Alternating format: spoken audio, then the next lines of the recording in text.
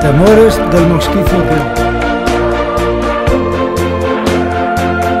Pero si es que no ves, llega un momento que tienes los ojos llenos de mosquitos.